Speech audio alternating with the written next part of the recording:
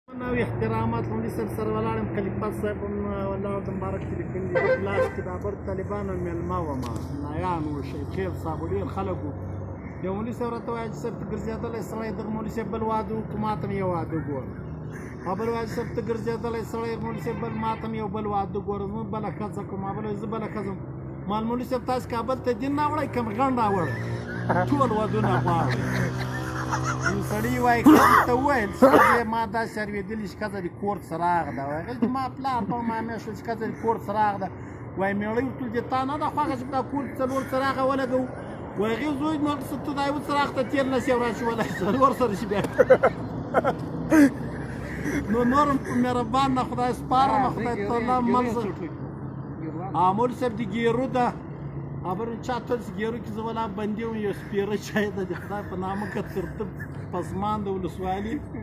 موږ له د چا چې ورا راغلی ول ګیرو موږ چې کړی خو باغونه جوابل ته وي